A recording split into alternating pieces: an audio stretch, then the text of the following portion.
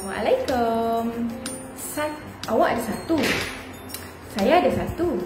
Jadi dua. Awak ada empat.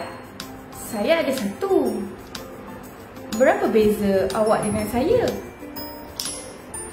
Saya ada lapan pensel. Tapi saya nak bahagikan dekat kawan-kawan saya. Sama rata. Kawan saya ada empat orang. Itu semua adalah soalan-soalan matematik yang perlu dijawab oleh anak-anak kita dekat sekolah. Tapi macam mana anak-anak nak jawab kalau anak-anak tak ada logical thinking? Logical thinking sangat penting untuk anak-anak bagi menjawab soalan-soalan matematik. Macam mana kita nak tingkatkan prestasi matematik anak-anak kita?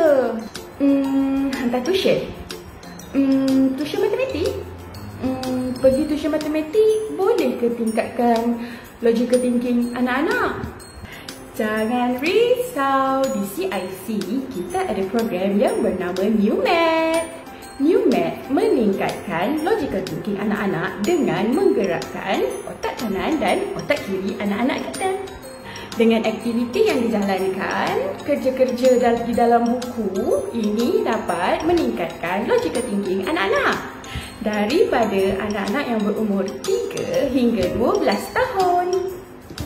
Seawal kanak-kanak berumur 3 tahun, kita sudah boleh meningkatkan cara berfikir anak-anak dengan program Maths.